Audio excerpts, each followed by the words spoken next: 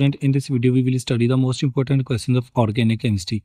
The question is which of the following is aromatic compound? Here you can see that there are four molecules are given and we have to identify aromatic compound.